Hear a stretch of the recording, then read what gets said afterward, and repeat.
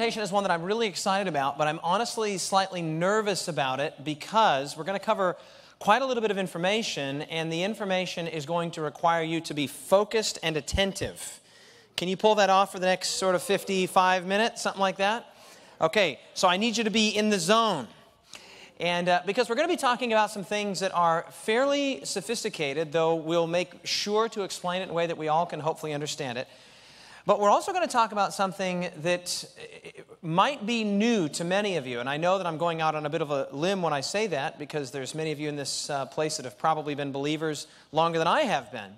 Um, but I want to introduce to you an idea tonight that I think for some of you will be kind of a new concept, a new idea, a new biblical truth. And so, with that in mind, I'm just going to have a short little prayer for us, and then we're going to dive right in.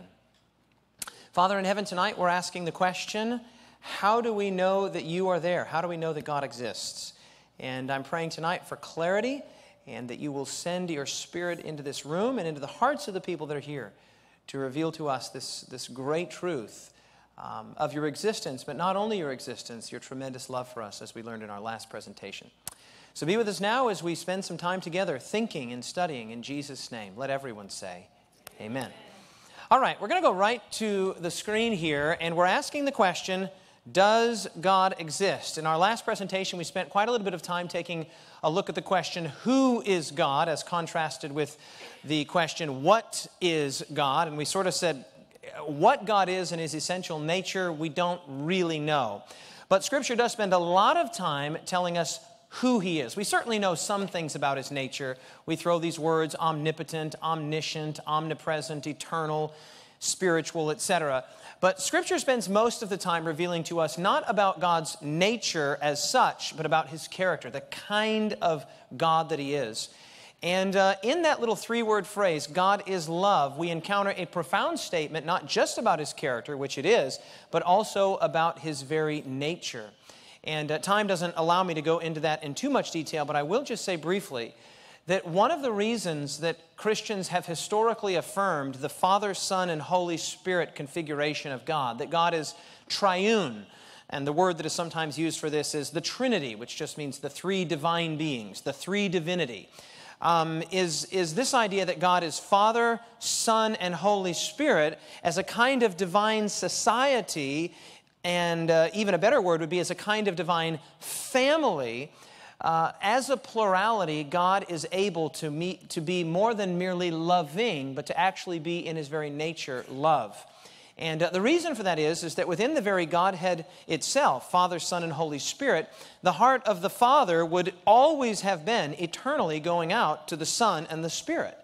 Well, it's also true that the heart of the Son would have always been going out to the Father and the Spirit, and so too, the heart of the Spirit was always going out to the Father and the Son. And so that in this relationality, in this plurality, in this mutuality, Father, Son, and Holy Spirit, this idea that God is not a rigid singularity, but actually a divine society or a divine family, makes so much, uh, makes John's saying that God is love so powerful and so profound.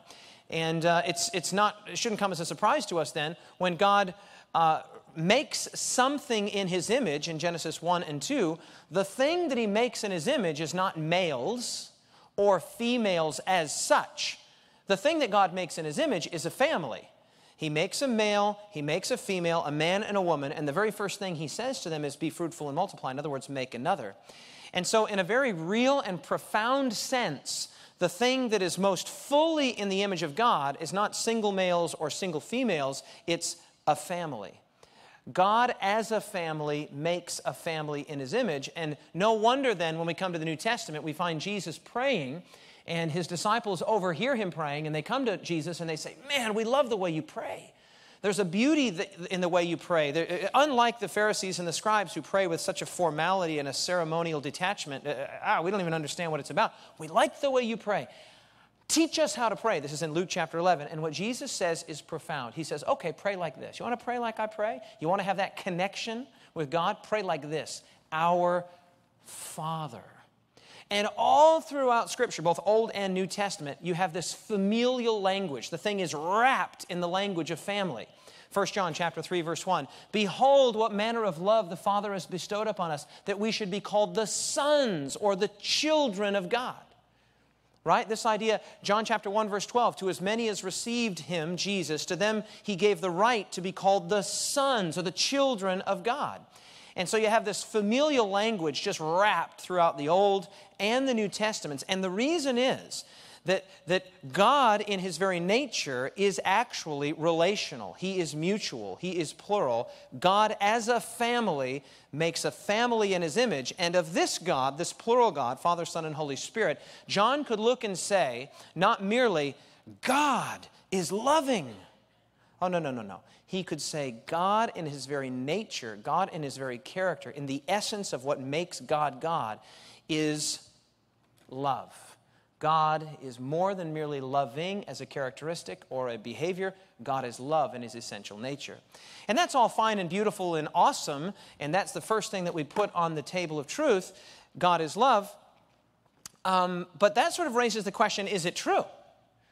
I mean, it's a nice story. And in the first two presentations, I've, I've asked you to admit with me that even if you didn't believe it, you'd have to appreciate the story just on aesthetic grounds. It's a beautiful story. But that kind of raises the question is this just all pie in the sky by and by? Is it just something that religious peoples, and this is the charge that many, you know, atheists or irreligious peoples levy against Christians and others, and that's just that, oh, you can't get through the difficulties and vicissitudes of life without some God or some sense that someone's looking out for you, so you need a crutch, right? Is that what this is? Is it just a crutch that weak minded people need in order to get them through the ups and downs of life, particularly the downs? Or are there good reasons to think that there really is a God out there? Right? Is God like the Easter Bunny? Is he like Santa Claus? Is he like the, the, the Tooth Fairy? Or is there good reasons for believing that God exists? Some people are absolutely persuaded in the three configurations that we've talked about of thinking about God that there is no God. We talked about atheism, which is what you have uh, sort of modeled for you here, that there is only matter and energy, and that's it. There's no room for a God and no need for a God. We talked about monism, where the universe and God are one. And then we talked also about theism, where God has made the universe, where He is distinct and separate from it, but He made it. But some people are absolutely persuaded that, in fact, there is no God. And uh, even right now, uh, you would say that there is a, it would be totally fair to say that there is a new atheism that is sort of on the rise. It's, uh, uh, these people are sometimes called the new atheists, the Christopher Hitchens and the Richard Dawkins and the Daniel Dennetts and the Sam Harrises of the world are not merely content to believe that there is no God, but they are really very committed to you believing that there is no God. And so, among other things, they've written a number of books, they've debated a number of theists, they've even taken out little signs on the buses in uh, London, and uh, I just get a kick out of the signs. Um, they said, there probably is no God, so just enjoy your life, right? And they're very careful. They're very careful to say there probably is no God because they're well aware that no one can say for certain that there is no God. So they say it's unlikely. And I saw a really interesting interview with Richard Dawkins on one occasion when they were asking him, okay, so you say there probably is no God, like what percentage? Like, is it like, are you like 51% sure? Because that would be probably. Or he's like, no, no, it would be much higher than that. And he's like, okay, so like, like 90%? No, probably even higher than that. Like, how would you even go about quantifying that? We are 96.3% certain that there is no God, right? But what I want to try and present to you tonight is that, in fact, Dawkins, Hitchens, Harris, and others are mistaken. And uh, the very best evidence points to the fact that there is a God, but I want to try, if possible, to go beyond merely presenting ideas or arguments. I want to try and give you a way that you can know for certain that there is a God. Now, that might sound kind of new to some of you. Like, how can you? You mean like for certain, for certain? Like, like for sure I can know? And uh, yeah, the answer is yes. Let me ask you this question. Let me just start by asking a question. How many of you believe that God exists? Raise your hand. You believe that God exists. Okay, well, that's almost all of you. Okay, um, I think it might have been all of you. Now, let me ask this question. It's a little different. How many of you know that God exists? Yeah, not, not every hand is going up, but still most. They're like, well, well what? I didn't you already ask that? No, listen again. How many of you, what was the first question? How many of you believe that God exists? And the second question was, how many of you, is there a di- difference between belief and knowledge? Yes, certainly there is. And I uh, speak to young people and, and not so young people all over the world. And I love to ask this question How many of you believe that there's a God? Shoo, shoo, shoo. In churches all over the world, I've seen hands go up. But then when I ask the second question, How many of you know for certain? Eh, mm, mm, mm, you're a little bit like Richard Dawkins. There probably is a God, right? You're not quite Sure. So that sort of raises a question for us, doesn't it? I mean, are we just supposed to go on the mass of evidence, like we're supposed to be 96% or 92% or maybe 89%? How would we go about knowing? I'd like to suggest to you tonight that the answer is yes, God does exist. And though this cannot be proved in the mathematical sense, I cannot prove to your satisfaction that there is a God. I still am going to claim tonight that it can, however, be known for certain. Now, some of you might be saying, well, that's impossible. How, how could you say that you can't prove it, but you can know it? And the answer is this there are a great many things that you know to be true in your own experience, but which you can never prove to somebody else's absolute satisfaction. For example, how many of you like chocolate chip cookies? Some of you are like, do I have to admit this? I know this is a religious meeting, but am I being asked to confess?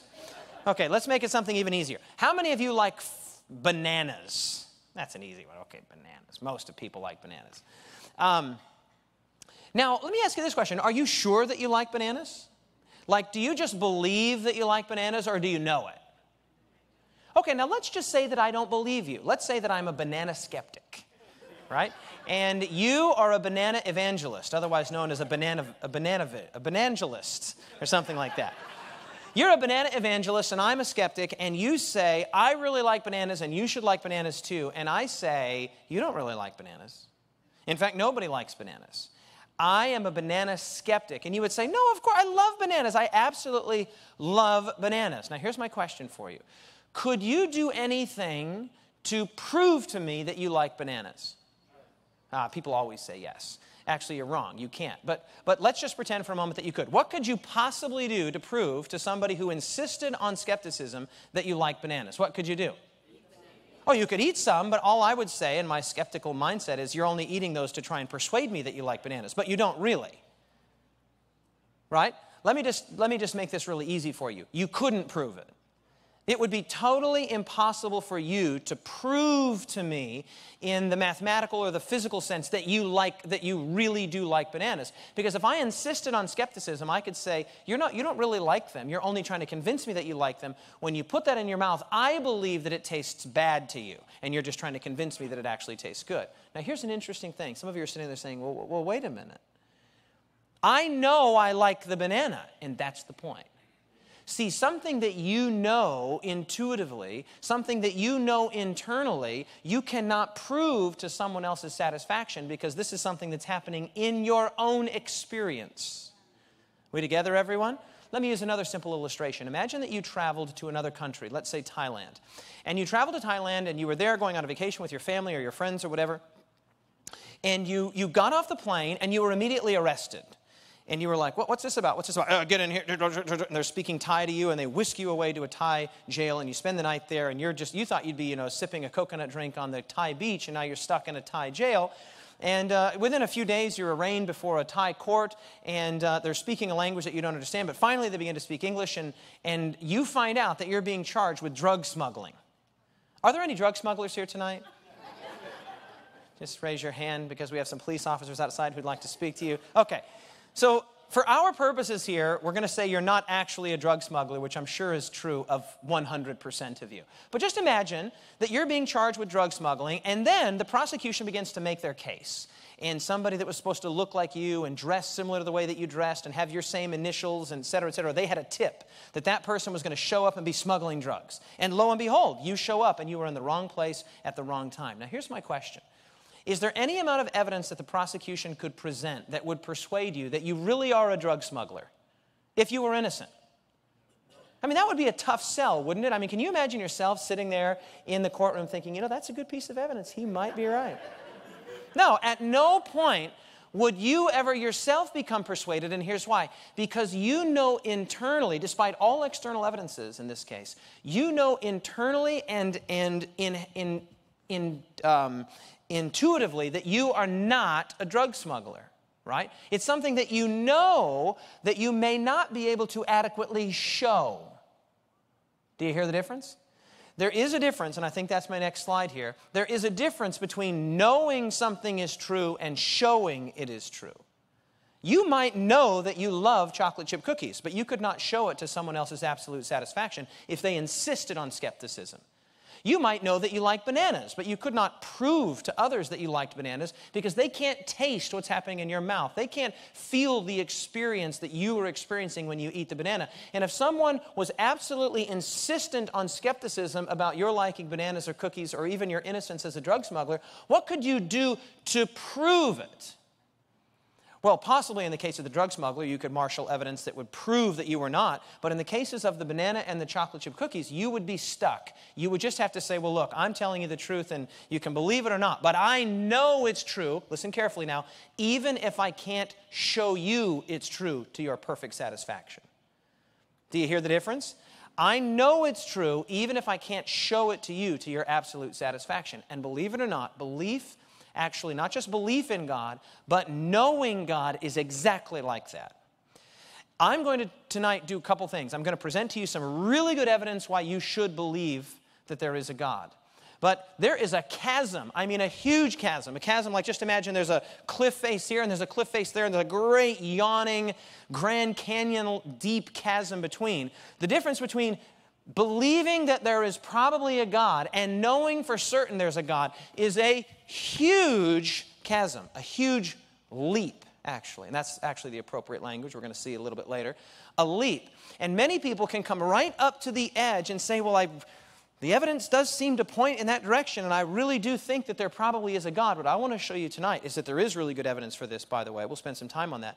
But I also want to talk about how can you go from merely believing corroborating evidence and actually knowing in the same way that you know you like bananas or chocolate chip cookies. How can you know that there is a God? And do you know what the Bible says? This is very interesting. The Bible says, John chapter 8, verse 32, Jesus was speaking, and he said, You shall know the truth, and the truth will set you free. You will know the truth, and the truth will set you free. Jesus said that the way that we would come to know, know, not just believe, but know that He is the Messiah, that He is the way, the truth, and the life, is a very interesting way. He said you would know it by the Spirit. Let me read that to you in John chapter 14. Jesus is speaking.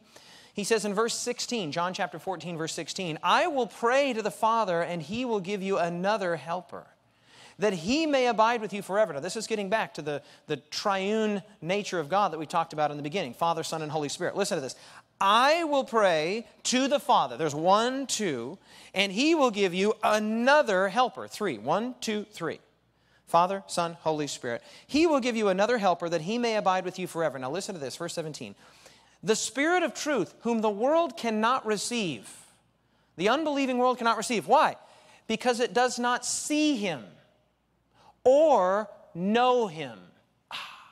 Notice it doesn't say because they don't believe, but because they don't see, they use that as an excuse. If I can't see it, I don't know it. But watch what he says here. But you know him, not you believe him. You know him. Well, how? How do I know him?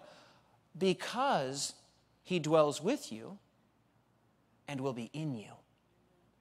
Now, this is a remarkable thing that Jesus is saying here. Jesus is saying, You will know that I am the Messiah. You will know that I have not left you an orphan. You will know that I am with you because I will send the Holy Spirit. And in another place, he says it will actually be for your benefit that I go away. Because the Spirit, who, again, unlike Jesus, who was bound by time and space in his incarnation, if he was in Galilee, he had to walk to Jerusalem. If he was in Jerusalem, he had to walk to Bethany, etc. Bound by time and space. On one occasion, he said to his disciples, It's for your best interest, it's for your your benefit that I go away. Well, why so? How could it possibly be in our best interest that our teacher would leave us? He said, Because when I go, I'll send you the Spirit. And the Spirit will transcend time and space such as I do, because I'm bound by my physical human form here in the incarnation. But He will be with you. But He went even a step further. He'll be with you, He'll be around you, He'll be proximate to you. He said, He'll be in you. The Spirit will be in you, and you will know, you will know you will know the truth, and you will be set free by it. And the New Testament picks up on this in place after place after place after place after place. Let me share with you another one. Paul is writing in the book of Romans, Romans chapter 8. This is one of my favorite passages in all of the Bible, Romans 8. And um, I just, I just love it. I just cannot stay away from the book of Romans, and I just cannot stay away from Romans 8. Romans 8 is the climax of Paul's arguments and, and his line of reasoning in Romans, in the book of Romans. But I just want to take one thing here, very interesting. Romans chapter 8. Verse 14, he says, For as many as are led by the Spirit of God, these are the sons of God. There's that familial language again. If you're led by the Spirit, you are God's sons. Verse 15, For you did not receive the spirit of bondage or slavery. Remember, that's what Jesus just said. If you, you will know the truth, and the truth will set you free. So he says here, You didn't receive the spirit of slavery, again, to fear, but you received, listen to this, the spirit of adoption. Is anybody else in this room adopted? Anybody adopted? I'm adopted. Am I the only adopted person in this room, really? Like you're adopted by your parents? Wow, that is a statistical anomaly. I mean, there are several, there's probably like 200 people here, and I'm the only adopted person. That's really unusual. Okay, all right, I just suddenly want to change the whole presentation and just figure out what the odds of that are, but we're gonna, not going to do that. Um, now, listen to this the spirit of adoption by whom we cry out, Abba, Father. Now, don't miss this. Here's what Paul is saying. Let me make it simple for you. Paul says, You received not the spirit of slavery, you received the spirit of Christ. And when the spirit of Christ comes into your life, the spirit of Christ calls out to God from within you, Dad, Father, Abba. And then he says in the very next verse, this is awesome, verse 16, the Spirit Himself bears witness with your spirit, and you know that you are a child of God. The Spirit Himself bears witness with our spirit that we are the children of God. Now, don't miss Paul's line of reasoning here. It's exactly Jesus' line of reasoning. What he's saying is that God sends His Spirit into your life, and when you receive the Spirit, when you accept Jesus as your personal Savior, when you receive Jesus as the faithful Messiah, He sends His Spirit into your life. When the Spirit comes into your life, the Spirit cries out on your behalf and says, God, you're my dad. You're my father, and I am your son. I am your daughter. And Paul says the Spirit Himself bears witness, resonates with your spirit, so that you know you are God's son and God's daughter. And don't miss that. Many of us think, if, and I ask Christians all the time, I say, How do you know that there's a God? They say, Well, the Bible is true, or the prophecies, or whatever. No, no, no, no, no, no. The truthfulness of Scripture and the beauty of the prophecies, and even some of the scientific evidences that we're going to look at here in a moment, all of those are evidences that show that you're likely right if all we had to go on was external evidence. But that's not what the New Testament says. The New Testament doesn't say that you know that God is your Father, that you know that there is a God on the, on the basis of some external evidence. No, it says that you know that you're a child of God because God has witnessed to you Himself by His Spirit. God has told you, you are my son, you are my daughter. The self disclosure of God's own nature to you, you know it, even if you're really bad at telling others. Even if you don't know, I don't, I don't know the evidences scientific, theological, philosophical, or biblical. I, I don't really, but I know that I know. In fact, there are some great passages, just I'll take you to a couple more quickly here in the book of First John, and then I want to get into some of the. Uh, uh, the reasons that we, tr- the ways that we try and show it. Check this out. 1 John chapter 2 and verse 20. John says some really strange sounding stuff here, frankly. 1 John chapter 2 verse 20, he says, "But you have an anointing from the Holy One." That's the Holy Spirit. He says, "You have an anointing from the Holy One. You have the Holy Spirit and you know all things." Now, when John says here that you know all things, he's not saying you know everything about geography, you know everything about topology, you know everything about anthropology and marine biology. That's not what he's saying. He's not saying you're suddenly an Encyclopedia Britannica. What he's saying is, is you know all things relative to your relationship with God through Christ. You don't need a pastor to tell you that. You don't need a priest to tell you that. You don't need a, a, an apostle to come and tell you that. You know it in your soul. You know that you are God's son, you are God's daughter. Look at verse 27. Verse, 1 John chapter 2, verse 27. But the anointing which you have received from him abides in you. And you do not need that anyone teaches you. You don't need David Asscherick to come and tell you that. John is saying, you don't even need me to tell you that. Look at this. But as the same anointing teaches you concerning all things and is true and is not a lie, just as it has taught you, you will abide in him. Translation God Himself has taught you by His Spirit. God has revealed Himself to you in the person of His Spirit, and that no. He says, You don't need anyone to teach you, not even me by extension. We'll stay in, chap- we'll stay in 1 John, go to chapter 3, verse 24. Now, he who keeps his commandments abides in him, and he in him. Notice the language. And by this we know that he abides in us by the Spirit whom he has given. Hey, John, how do I know? How do I know that I'm a son of God? How do I know that I'm a daughter of God? John would say, Because he's given you his Spirit. His Spirit, now to use the language of Paul, His Spirit bears witness with your spirit and tells you you're God's son, you're God's daughter. You know it because God has revealed Himself to you. We'll go to chapter 4. Look at verse 13. By this we know that we abide in Him and He in us. How? Because He has given us of His Spirit. And then my personal favorite, chapter 5. This is great stuff. We'll just read a quick section here. Verse 6. This is He, speaking of Jesus, who came by water and by blood, Jesus Christ. Not only by water, but by water and blood. And it is the Spirit who bears witness, because the Spirit is truth. There are three that bear witness in heaven the Father, the Word, the Holy Spirit, and these three are one. And there are three that bear witness on earth the Spirit, the water, and the blood. And these three agree as one. Now, if you got a little confused in there, don't worry about it. Look especially at verses 9 and 10. If we receive the witnesses of, of, the witness of men, the witness of God is greater, for this is the witness of which God has testified of his Son. What he's basically saying here is if you believe what a human being tells you, you should believe what God is telling you. Right? And by the way, we, all, we often believe what human beings tell us. If a, if a human being says to us, Oh, this is a great dessert, you need to get this. This is really good. You're at a restaurant, you need to order this dessert. You believe them. If I say to you, Oh, there's a really good book, you really should read this book, we often will believe it, right? If you say, Oh, the way you get to my house is take the next right, you don't say, Well, prove it. prove it. I know you're telling me the truth. No, what John is saying is, as a general rule, when people tell us something, if we, if we find them to be respectable or believable people, we accept what they're saying. So what he says here is, if you will believe what people say, then believe what God is saying to you. And now look at verse 10. Boom! This is the punchline. He who believes in the Son of God, do you have your Bibles open if you, if you can see this? He who believes in the Son of God has the witness.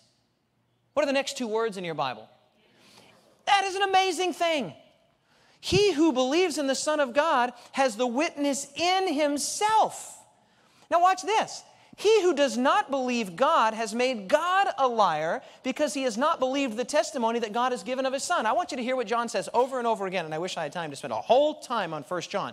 But he says, You don't need anyone to teach you. You know because God has given you an anointing, the Spirit. You know that you have a relationship with God because of the Spirit. You know because you have the Spirit. You know because you have the Spirit. And here he says, You don't need a man to teach you this. God Himself has taught you this. You have the witness, not external to yourself. He says, You have the witness in yourself.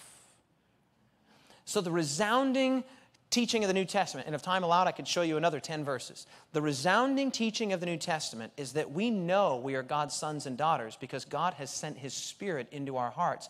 And God's Spirit cries from within us back to Him Dad, Father. Now that's how we know it.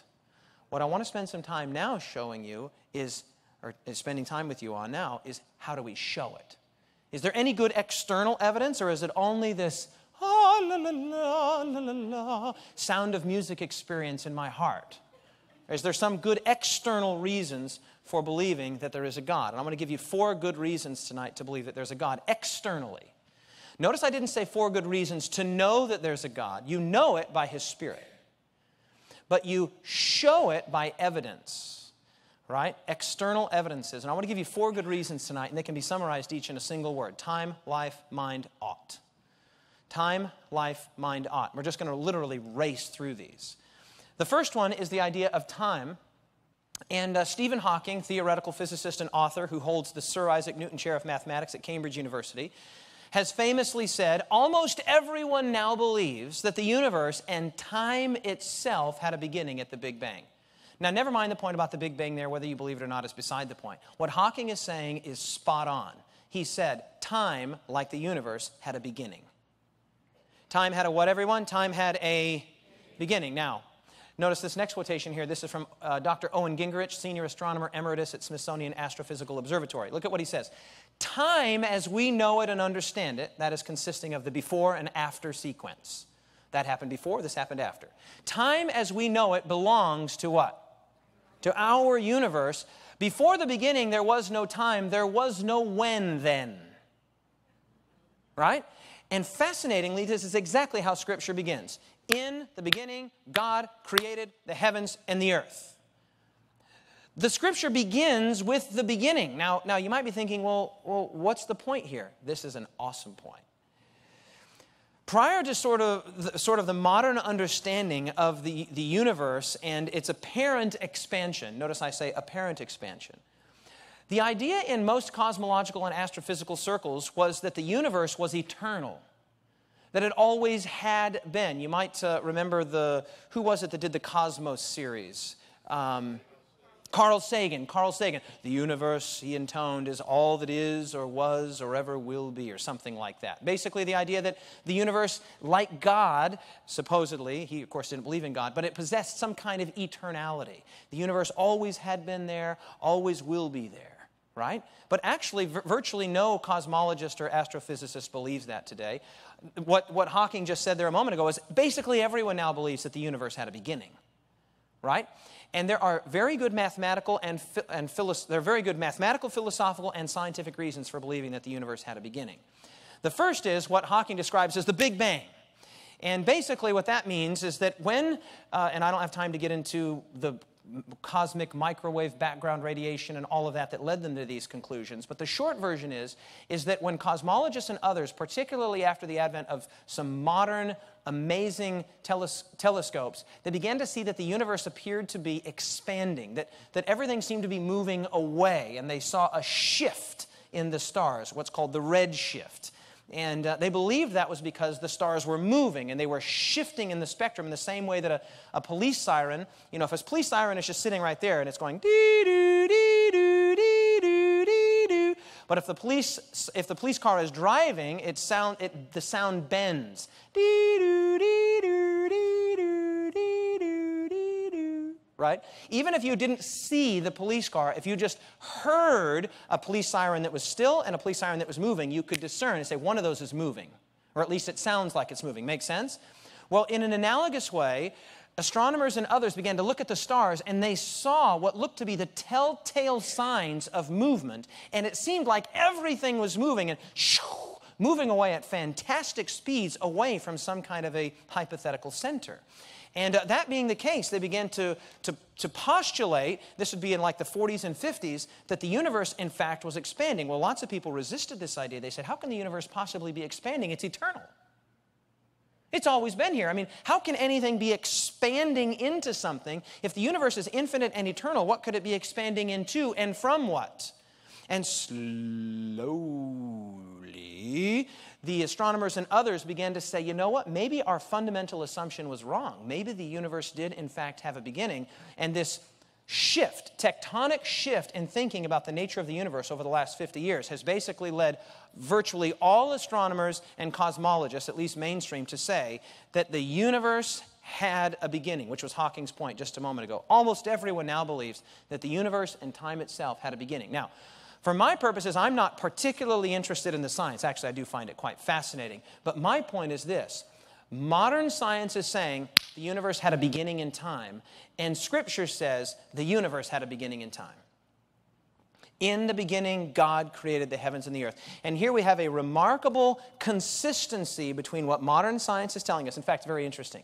The man who won the Nobel Prize for his discovery of the cosmic microwave background radiation, a man by the name of um, Arno, Arnold Penzias, uh, he actually said, if all that we knew about the universe, if all we had to go on was the books of Moses and the Psalms, and basically the Bible in general, if that's all that we knew, he said the predictions that we would make about the nature of the universe are exactly what we see. Right? That the universe had a beginning in time. Well, there's actually a very good mathematical reason to believe that the universe had a beginning, and it goes like this. By the way, if you can't follow this and your brain starts to hurt, don't worry. Here we are today, whatever the day is today. My birthday was just recently, so we'll say August 16th. August 16th. So if, if you're on August 16th, right, how many moments or days, whatever you can say, moments, days, months, years, decades, doesn't matter. We'll just say days. How many days were there before August 16th, 2013? How many days were there? Well, the answer is nobody knows. But what we do know is that there could not have been an infinite number of days before August 16th, 2013. Now just let that sink in. There could not have been an infinite number of days before, say, today. Well, how do we know there couldn't have been an infinite number of days before today? Simple. An infinite number of anything cannot be traversed. An infinite number of anything cannot be counted, right? Because, I mean, you would just keep going. You go back, back, we'll rewind the tape. And we think we're at the beginning, but no, we're just getting started. And we've gone back, say, millions and billions and trillions and quadrillions of days. No, we're just getting started. The point is, there could not have been an infinite number of days before today, or we could have never passed through that infinite number of days to arrive at today. So the only way that we could have ever arrived at today, moving through time, is if there was some beginning from which the sequence could start, commence, and lead us through, however many of days that is, or moments, or years, or decades, whatever you want to divide time up into. That number of days had to be finite to get us to today. And so there's a very good mathematical, philosophical, and scientific reason for saying the universe had a beginning, and this squares exactly with what Scripture says. In the beginning, God created the heavens and the earth. Boom! That's a very good reason to believe that there is a God. If there was a beginning, it stands to reason that there was a beginner. And just a quick word on that. The beginner could not himself be a product of the process that he began. There had to be something that, that was not itself explicable by the process that actually began the process, that, that caused the thing to begin to go. And uh, this is actually very quickly and easily illustrated, or at least said, and I'll just quickly say it for you. It works on three, three simple lines. Number one, the universe, or number one, everything that begins to exist has a cause. Everything that begins to exist has a cause. Piece of cake. Number two, the universe began to exist. Okay, that's what modern cosmologists and physicists and others are saying, so we'll concede that. So, number three actually follows logically, somewhat logically from this. The universe, therefore, had a cause, and that cause must be an uncaused cause of all subsequent causes. By the way, do you know what you call the uncaused cause of all subsequent causes? Do you know what you call that? You call that God. That's exactly right. That's the thing that got the whole thing going. And so, there's very, very good reasons to believe that, in fact, there is a God based on just the nature of time and the nature of the universe. But there's even more good reasons to believe that there is a God based on the nature of life. The nature of life. And I'm actually reading another book right now. It's a fascinating book, highly recommended by Stephen C, highly recommended by Stephen C. Meyer, called Darwin's Doubt. And uh, we're going to talk a little bit about Charles Darwin tomorrow night. Maybe not in the way that you would think, though. Um, but basically, the point in Meyer's book is that modern biology is, is clearly communicating to us that there was an information explosion at some point in biological development, even for people that believe in long ages evolution, which I don't believe in. But even for people who believe, whether they believe in a short chronology or a long chronology, there was some kind of an information explosion. A whole lot of data, a whole lot of information suddenly shows up in the fossil record. In the case of Darwin's doubt, it begins at the Cambrian explosion. And basically, boom, all of these animal forms and body plans just show up. But it takes a lot of data to make a trilobite. It takes a lot of data to make a human being or a monkey or a crab or a mollusk or a nautilus. It takes a lot of information. And here's an interesting thing the only known source of information, listen very carefully, the only known source of information is intelligence. Okay? That's where we get information from, is intelligent sources, right? And so if we have information, we have apparently access to intelligence. In fact, Francis Crick, who was a co discoverer of the DNA molecule, um, in 19, uh, he won the Nobel Prize in 1962 for it. He said this An honest man or woman, armed with all the knowledge available to us now, could only state that in some sense, the origin of life appears at the moment to be almost a, what does he say? A miracle. Now remember, he's not saying this from a religious standpoint, he's saying this from a scientific standpoint. He appears to be almost a miracle so many are the conditions that would have had to have been satisfied to get it going. Okay, so basically, here's what happened. How many of us remember from high school um, the picture of DNA, the sort of spiral staircase? Okay, very good. And we think, oh, well, that's interesting. Look at how complex that is. But the complexity is not in the chassis, in the physical helix, uh, the double helix structure of the DNA. The complexity was in the four nucleotide bases that make up what can only be described as a chemical language. Now, just let that sink in. It's a language, it's a code. Whenever we encounter a language, whether it's the language of Japanese or Chinese or the language of music or, or Turkish or Arabic, when we see a language and then we see a language coded by symbols, we know we're dealing with intelligence. And so, what Crick is saying here is man, when we discovered that the building blocks of life were not just like little globules of goo, right? Just like building blocks of little bricks, which is basically what Darwin thought in his day because they didn't have access to the, to the kinds of microscopic technology that we have today. They just kind of looked at it and said, well, that just looks like a brick. We now know that the simplest human cell is as complex or more complex than the, the factory that, made that made your car. The factory that made your car is very likely less complex than the skin cells that are coming off of you when you just scrape the internal machinery and tech, nanotechnology that's in a single cell is fantastic. And back in the day when they just had these big clumsy microscopes, they had no idea. But as technology came along, they began to, whoa, whoa, whoa. And then when DNA was seen, not just to be an interesting, twisty little snake like molecule, but there was a code. There was, inform- there was a language in there. Well, the only known source of intelligence and language and codes and symbols or the only known source of information and codes and language and symbols is intelligence. Now, this very information actually led uh, one of the world's foremost academic atheists, a man by the name of Antony Flew, who spent the better part of his academic life as an atheist, an academic uh, philosophical atheist. Um, he changed his mind in 2001. He changed his mind and said, You know what? There is a God. In fact, you can read that book. It's a very interesting book. It's called There Is a God How the World's Most Notorious Atheist Changed His Mind. And the, the, the evidence that caused Antony Flew to change his mind was this. Let's read what he says. What I think the DNA material has done is show that, what's that next word? Intelligence must have been involved in getting these extraordinarily diverse elements together. The enormous complexity by which the results were achieved looked to me like the work of intelligence.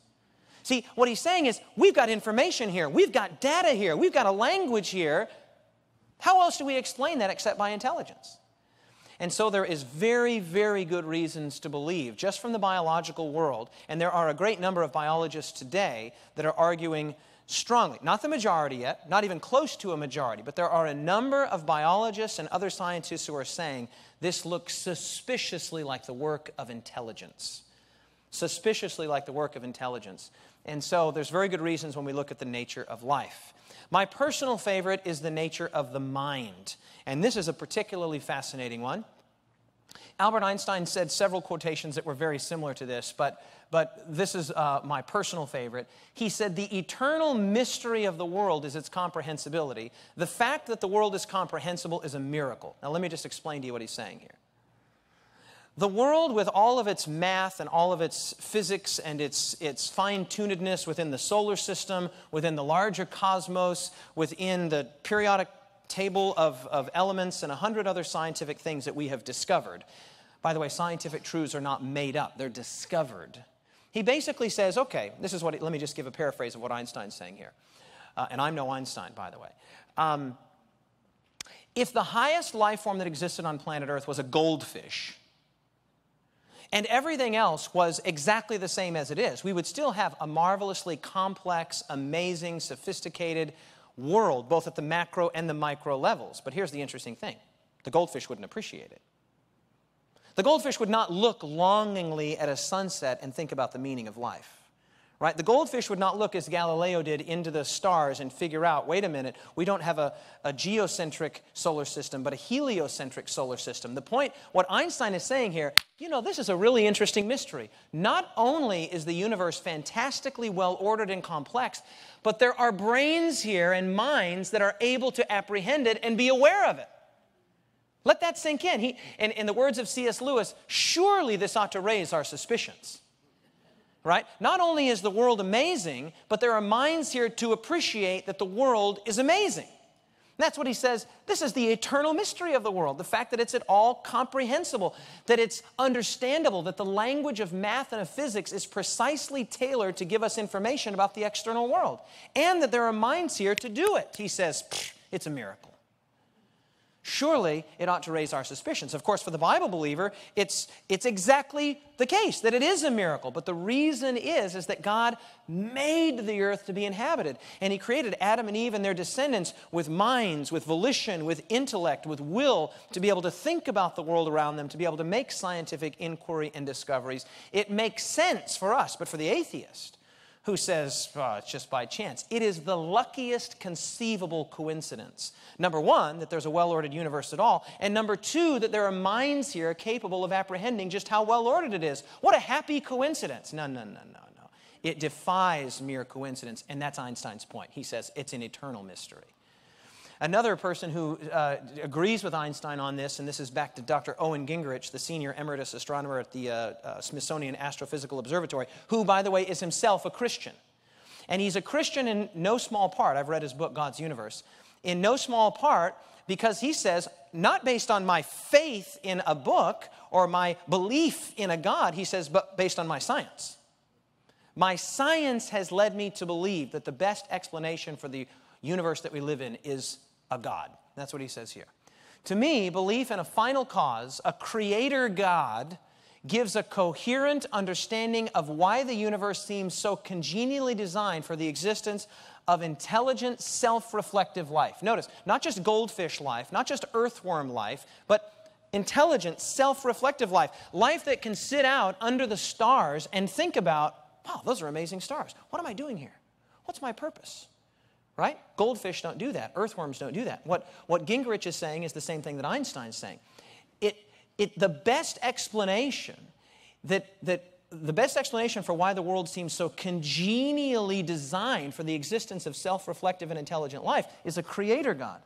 He says it would take only small changes in numerous physical constants to render the universe uninhabitable. In other words, he says if the universe was only slightly different, only slightly different, no one would live in the universe at all, much less intelligent minds that are able to apprehend the universe.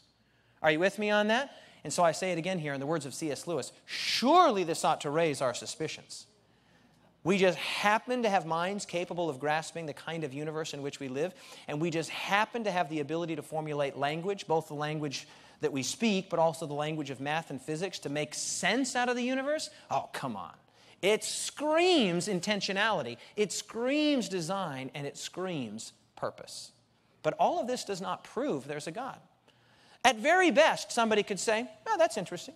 Or somebody could say, yeah, I, I, I think that probably, probably the best explanation. In fact, if you just go back one, look at what he says here. To me, belief in a final cause is the best explanation belief. But my point is can we get beyond mere belief? Can we go from just good evidence, eh, it looks like pretty good, I'm going to go 96% sure there's a God. I'm going to go 96%. Or is there some way to go from belief based on evidence to knowledge based on experience? And the answer is yes. But the good news is, is that your, your experience with the Spirit, your experience with God is not just based on some, yeah, dream. No. There's very good, rock solid, philosophical, mathematical, scientific reasons to believe that what you believe in your spirit, what God has done by sending His Spirit, hey, this is true. This is actually true. So we have both the external corroboration. Now, listen carefully. Believers have not only the external corroboration of some of these evidences, but we have the internal confirmation by God's Spirit. I want to say it again. Believers have not only external corroboration that point, yeah, that seems to point convincingly in the right direction. We have internal confirmation when He sends His Spirit into your life. And His Spirit comes in and says, You're God's son. You are God's daughter. Now, look at this one. This is a cool one. In 2000 and 2001, the computer scientists and programmers at IBM they tried a number of times, but they kept failing, failing, failing, failing. They wanted to make a computer that could think quickly, quickly enough to beat the top chess champions at chess. And they failed and failed and failed and failed because chess is not merely a mathematical game, it's a creative game. It requires creativity, it requires strategy, it requires free uh, forward thinking. And, and the idea was hey, we'll show how far along computers are coming. We'll make a computer that can beat the top chess masters in chess. And they tried it and they failed, they tried it and they failed, they tried it and they failed. Well, finally in 2000, 2000 2001, they came up with a computer that they called Deep Blue because I think the first one was called Big Blue. And uh, this was actually at the time 36 supercomputers that were all linked together in an enormous thing, like the size of these boxes or bigger. And it took on Garry Kasparov, who was at the time the grand champion of chess in the world.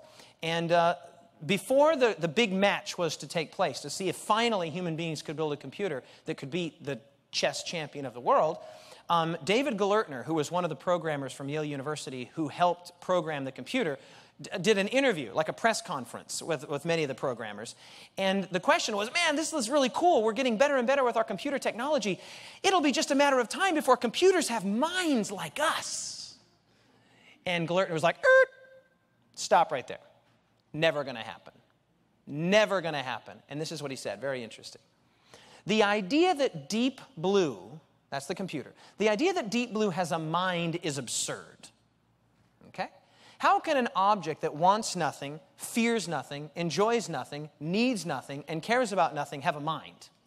He continues. It can win at chess, but not because it wants to. It isn't happy when it wins or sad when it loses. And what are its plans after the match? If it beats Kasparov, is it hoping to take Deep Pink out for a night on the town? Right? It doesn't care about chess or anything else. It plays the game for the same reason that a calculator adds or a toaster toasts, because it was a machine designed for that purpose. Deep Blue is just a machine. It doesn't have a mind. That's the key word. It doesn't have a mind any more than a flower pot has a mind. Computers, as we know them, will never have minds, he says. No matter what amazing feats they will perform, inside they will always be the same absolute zero. Now, don't miss the point that he's making here. What he's saying is, is that what makes a mind special, what makes a mind a mind, is its sense of I, its sense of identity, its wants, its dreams, its hopes, its ambitions. A computer can be made, by the way, a computer is made by a lot of other minds putting information into it, which gets, gets us back to the point I was making earlier that the only known source of information is intelligence. Okay? But what Gelernter is saying here is that a computer will never have an I, a me, a sense of self in the wider world and in the wider universe that will apprehend dreams and hopes and desires and falling in love. He says, no, no, they're just machines. We program them. They can do some really cool, really sophisticated, really amazing things. And then he even on a, a, a, later in the article, he actually goes on to say, if, if human beings ever could invent a machine, all it would be would be an exact replica of our brain a machine that was that had an eye because the brain is so sophisticated, so complex, so fantastically amazing. It not only is a physical organ, it gives rise to a self conscious state. To me, to David, a person who's in love, who has children, who has hopes and dreams and desires, and, and, and that's Einstein's point. Man, he says, surely this is an eternal mystery. Not only that the universe is amazing and complex, but that there are minds here capable of apprehending it and grasping it. So far, so good? Okay, so then the final one is ought. We talked about the nature of time, we talked about the nature of life, we talked about the nature of the mind, and ought. Ought is a, is a word that comes with duty and responsibility. It suggests that you should do something. You ought to do that. Duty responsibility, obligation.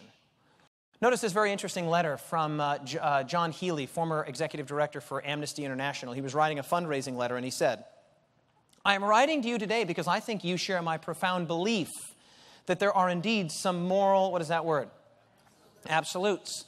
When it comes to torture, to government sanctioned murder, to disappearances, there are no lesser evils. Notice this. These are outrages against all of us. What Healey is doing here is appealing to your sense of ought.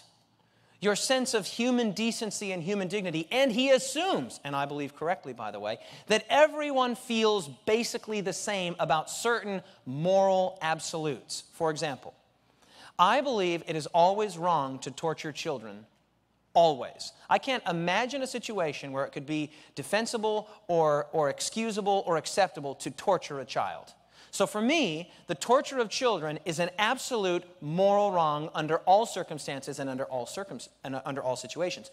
But that's because I believe that a child is made in the image of God and it is a moral it is an immoral abomination both to the child and to the child's family and to the child's creator God to treat anyone in that way. By the way, I believe the same about adults too.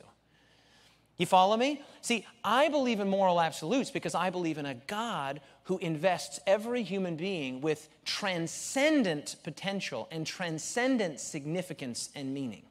If I was an atheist, all I could really say is, um, I don't think you should torture children.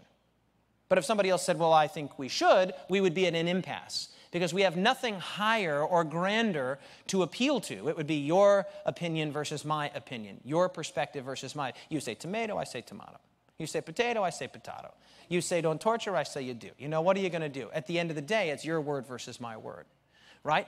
But this idea of ought, that there really are things that both should and things that should not be done, strongly suggests that there is some moral bearing in the universe, that there is some moral requirement in the universe. These are not just mere opinions or preferences, they're principles.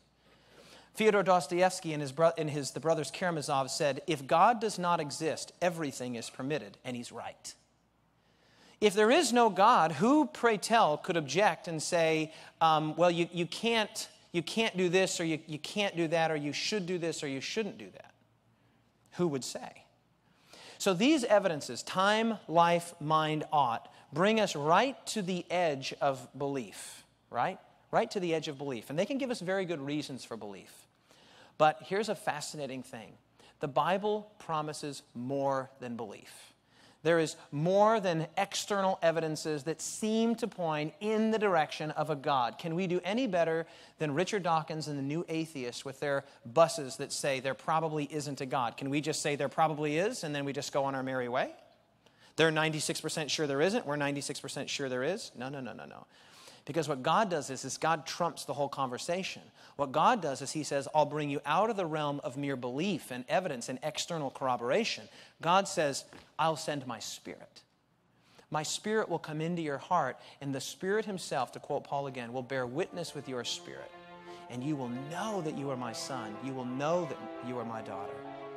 So, the, to answer, in answer to the question, does God exist? The answer is yes. And I want to tell you, you can know this for certain for yourself by inviting God to give you His Spirit, accepting Jesus as your personal Savior, and saying, God, reveal yourself to me.